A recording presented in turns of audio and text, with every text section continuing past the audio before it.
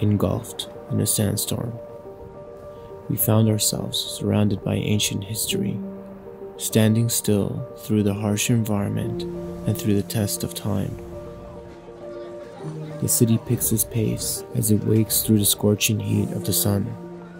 Streets filled with life, rich in culture and tradition. It shows you the experience that lasted from countless generations.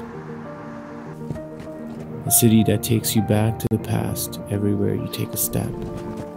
Held by the monuments that stand strong within the desert, still empowering and lasting the traditions of our ancient world. A city that is so unique, you see it in the buildings and its people. It moves you through time and takes you on a journey. Time doesn't go back, but the evidence of the past still lingers in the smallest details.